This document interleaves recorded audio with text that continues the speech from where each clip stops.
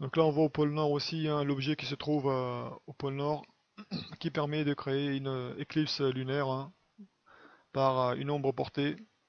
Le soleil qui éclaire l'objet, ça fait une ombre sur la lune hein, et ça fait une bah, l'éclipse lunaire avec l'ombre et la pénombre.